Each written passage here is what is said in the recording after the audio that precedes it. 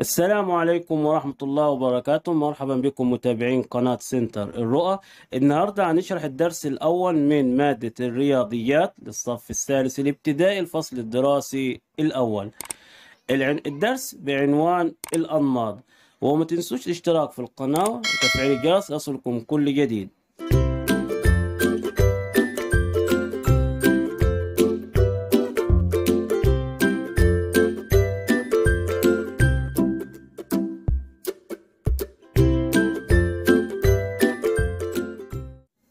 الدرس الأول الأنماط أنواع الأنماط.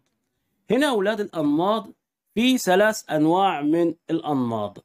في النمط البصري والنمط العددي والنم- والنمط بالنقاط والنمط بالنقاط. أول حاجة هنشرح مع بعض أول حاجة النمط البصري. النمط البصري يا أولاد هو حاجة بنشوفها بعيننا بتزيد بزي- بزيادة معينة أو بتتغير بتغيير معين. فعندنا النمط البصري اللي قدامنا هنا أولاد طيارة هنا سيارة بعد كده طيارة بقت سيارة سيارة. يبقى هنا أولاد النمط بتاعنا الطيارة ثابتة اللي بتزيد معانا يا أولاد هي السيارة. هنا كانت سيارة واحدة هنا بيجوا اتنين. بعد كده يا أولاد هنا في طيارة يبقى بعد كده يبقى في يا أولاد ثلاث سيارات. يبقى النمط بتاعنا ماشي إزاي؟ طيارة بعد كده سيارة طيارة بعد كده سيارتين بعد كده أولاد طيارة بعد كده ثلاث سيارات. طب عشان نفهم نشوف المثال الثاني. هنا أولاد مربع بعد المربع في دايرة. طب هنا بعد الدايرة في مربعين. طب بعد كده في دايرتين. يبقى هنا أولاد لاحظنا حاجة إن المربع زاد والدايرة زادت. المربع بقى اتنين. والدايرة بقت دايرتين يبقى نكمل النمط. المربع يبقوا ثلاث مربعات والدايرة هيبقوا ثلاث دوائر. ده اسمه يا أولاد النمط البصري. حاجة نشوفها بعينينا ونشوفها بتتغير إزاي. ثانيا النمط العددي. إيه هو النمط العددي يا أولاد؟ النمط العددي هو اعداد بتزيد بنظام معين. عدد بيزيد بمقدار معين. فهنا يا أولاد عندنا 30 40 50 60 70 80 هنا يا أولاد الرقم بيزيد معانا بمقدار كام؟ بمقدار 10 يبقى القاعدة عندنا يا أولاد زائد 10 يبقى القاعدة زائد 10 فهنا ال 30 لما زودنا عليها 10 أو جمعنا عليها 10 بقت يا أولاد 40 فنقول صفر وصفر صفر واحد وثلاثة أربعة. كده 40 ال 40 هنزود عليها 10 فنقول صفر وصفر صفر واحد وأربعة خمسة. الخمسين نزود عليها عشرة. فنقول يا أولاد صفر وصفر صفر واحد وخمسة ستة. الستين نضيف عليها عشرة. فنقول صفر وصفر صفر واحد وستة سبعة.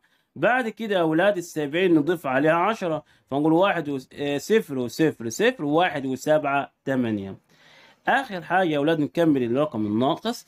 عشرة زائد تمانين فنقول صفر وصفر صفر واحد وتمانية تسعة.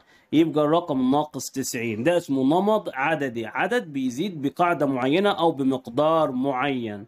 طب هنا يا أولاد عشرة خمستاشر عشرين خمسة وعشرين تلاتين خمسة وتلاتين. القاعدة بتقول يا أولاد بزيادة خمسة. يبقى هنا يا أولاد العشرة ضفنا عليها خمسة بقت خمستاشر. الخمستاشر ضفنا عليها خمسة بقت عشرين. العشرين ضفنا عليها خمسة بقت خمسة وعشرين. الخمسة وعشرين ضفنا عليها خمسة تلاتين. التلاتين ضفنا عليها خمسة خمسة وتلاتين. الخمسة وتلاتين ضيف عليها خمسة تبقى أربعين. نكتب هنا أربعين. طبعا نيجي النمط الثاني اللي هو يا أولاد عشرين بقت تمنتاشر ستاشر أربعتاشر اتناشر عشرة. هنا يا أولاد النمط بيتناقص. يعني إيه يا أولاد النمط بيتناقص؟ يعني بينقص بمقدار معين. هنا يا أولاد نطرح عشرين ناقص تمنتاشر هيبقى الباقي اتنين يبقى هنا النمط يا أولاد بيطرح منه اتنين الرقم السابق. يعني عشرين ناقص اتنين تمنتاشر. طب التمنتاشر نقص منها اتنين ستاشر. الستاشر نقص منها اتنين تبقى اربعتاشر. الاربعتاشر نقص منها اتنين تبقى اتناشر. الاتناشر نقص منها اتنين تبقى عشرة. طب العشرة نقص منها اتنين تبقى تمانية. يبقى هنا النمط بتاعنا يا أولاد ناقص اتنين. بعد كده يا أولاد نشوف النمط الرابع اللي معانا. سبعة وسبعين بقت سبعة وستين. إحنا ملاحظين حاجة. هنا يا أولاد خانة العشرات نقصت واحد. يعني نقصت عشرة. يبقى النمط بتاعنا بيتناقص بمقدار عشرة. فهنقول سبعة وسبعين. ناقص عشرة بقت سبعة وستين. السبعة وستين ناقص عشرة بقت سبعة وخمسين. طب السبعة وخمسين تنقص منها عشرة تبقى سبعة وأربعين. السبعة وأربعين نقص عشرة سبعة وتلاتين. السبعة وتلاتين نقص منها عشرة سبعة وعشرين. طب السبعة وعشرين نقص منها عشرة تبقى سبعتاشر. ده بالنسبة للنمط العددي. أعداد بتتناقص أو تتزايد بمقدار معين.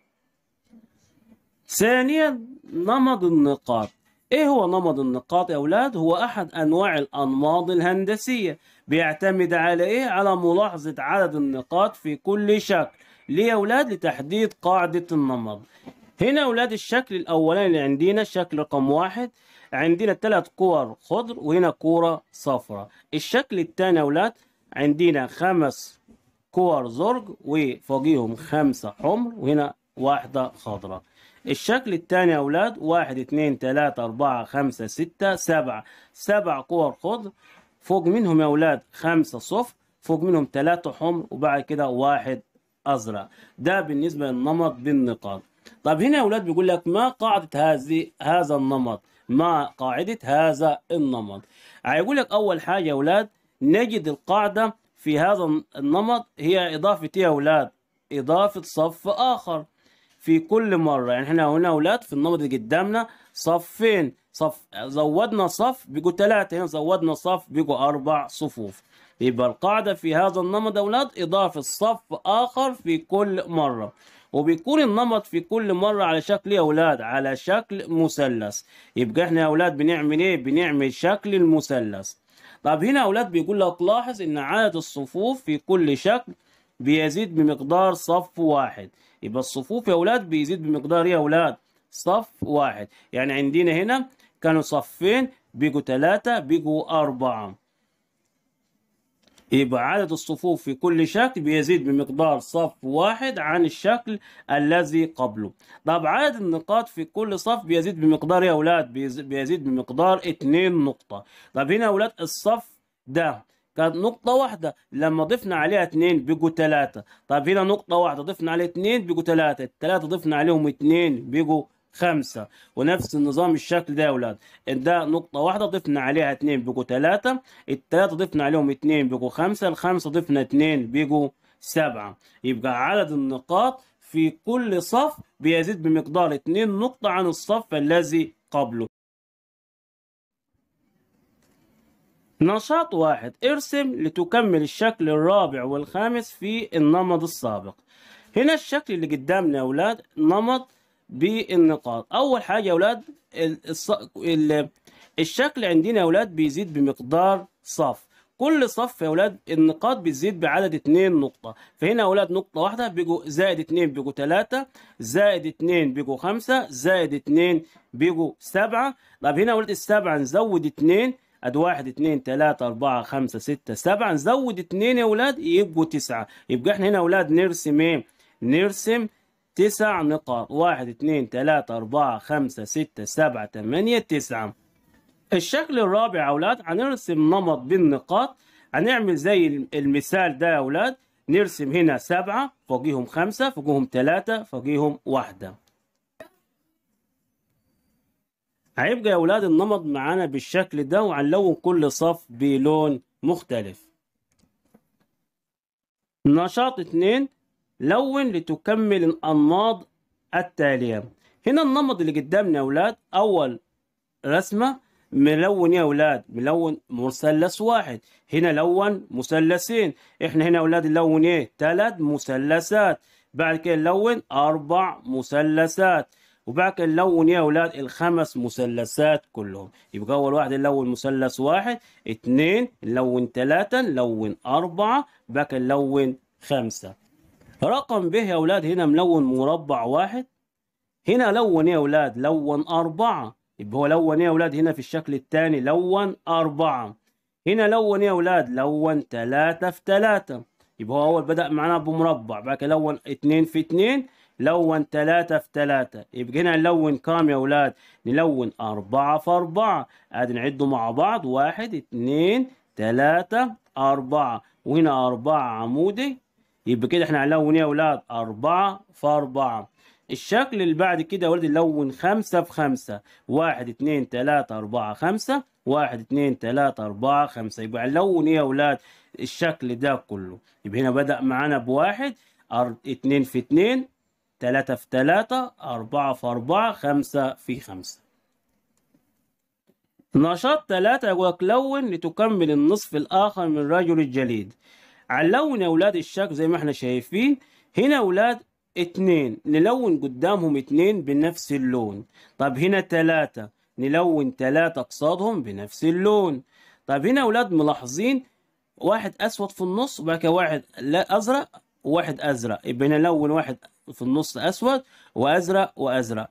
هنا أولاد واحد أحمر قصاد واحد أحمر. اتنين زرق اتنين زرق بعد الأحمر. بعد كده يا أولاد هنا اتنين زرق نلون جبالهم اتنين زرق. هنا تلاتة صفر يبقى تلاتة صفر جاء بعد منهم. الشكل اللي بعد كده يا أولاد اتنين صفر واتنين صفر. بعد كده اتنين لبني واتنين لبني. وفي بعد كده يا أولاد واحد أبيض وواحد أحمر. يبقى هنا نسيب واحد أبيض ونلون واحد أحمر هنا. الصف اللي بعد كده زي ما إحنا شايفين يا أولاد اتنين زرق اللون قصادهم اتنين زرق بعد كده نلون واحد أصفر نلون اتنين زرق تاني نلون اتنين أحمر. الشكل الصف اللي بعد منه ولاد نفس النظام تلاتة زرق تلاتة زرق إقبالهم. بعد كده واحد أصفر واحد أصفر. نسيب واحد أبيض ونلون بعد كده إيه؟ واحد اتنين حمر زي الشكل اللي قدامنا. هنا أولاد أربعة زرق يبقى اتنينهم أربعة زرق جبالهم أربعة زرق هنا أربعة زرق يبقى جبالهم أربعة زرق وهنا ولاد تلاتة زر يبقى جبالهم تلاتة زر هيبقى معانا الشكل يا ولاد في الآخر يبقى زي الشكل ده. نشاط أربعة. ارسم لتكمل النمط. هنا ولاد ألف. أول حاجة قدامنا مثلث ومثلث. يجي هنا ولاد في النص بقى فيه مربع. طب هنا بعد كده بيجوا مربعين والمثلثين ثابتين. يبقى إحنا نرسم إيه هنا ولاد ثلاث مربعات والمثلثين برضو ثابتين. يبقى هنا يا أولاد اللي بيتغير معانا عدد المربعات. طب هنا بعد كده يبقوا كام مربع؟ يبقوا أربع مربعات والمثلثين يا أولاد ثابتين زي ما هم. طب نيجي النمط رقم ب. هنا أولاد نقطتين فوق بعض بيجوا اتنين تحتيهم تلاتة. طب التلاتة بيجوا كام يا أولاد؟ بيجوا واحد اتنين تلاتة أربعة خمسة. يبقى الصف اللي من تحت ده يا أولاد بيجوا كام؟ زاد بمقدار اتنين يعني بدل ما هو كان تلاتة بقى خمسة. طب اللي فوق ده بيجوا بيزيد بمقدار واحد. بدل ما هو كان اتنين بيجوا تلاتة. يبقى الشكل التاني هنا يا ولاد هيبقى كام؟ يبقوا سبعة. فنقول واحد اتنين تلاتة أربعة خمسة ستة سبعة. واللي فوق يبقوا كام يا ولاد يبقوا أربعة. طب الشكل التاني يبقى كام يا ولاد تسعة فنرسم تسع دواير طب واللي فوق منهم يبقوا كام يا أولاد؟ يبقوا خمسة عشان بيزيد بمقدار واحد، كانوا أربعة بيجوا خمسة، فنرسم واحد اتنين تلاتة أربعة خمسة، ده بالنسبة للنمط رقم ب. النمط رقم ج يا أولاد هنا عندنا دايرة مربع مثلث دايرة مثلث مربع. هنا الشكل الثاني يا أولاد إيه اللي حصل فيه؟ حذف الدايرة. يبقى بقت مربع مثلث دايرة مثلث مربع. طب الشكل التاني هيحذف إيه يا أولاد هيحذف المربع. هيبقى مثلث دايرة مثلث مربع. بعد كده يحذف المثلث. هيبقى دايرة مثلث مربع. هيحذف الدايرة هيبقى مثلث مربع. بعد كده يحذف المثلث. هيبقى إيه يا أولاد يبقى مربع. طب نيجي بعد كده يا أولاد لرقم د في رقم ده هنا يا أولاد آه الزرع النبات اللي قدامنا في الاسريه يا أولاد بي بينبت بمقدار يا أولاد. ورقتين هنا أول حاجة كانوا اتنين. النبات بيزيد مر... ورقتين كل مرة. فهنا ورقتين هنا بيجوا أربع ورقات في النبات. هنا بيجوا كام يا أولاد؟ بيجوا ستة. يبقى زاد ورقتين بقى ستة. يبقى نرسم كام ورقة يا أولاد؟ نرسموا تمانية. أربعة وأربعة. هنا نرسم عشرة. آه خمسة وخمسة.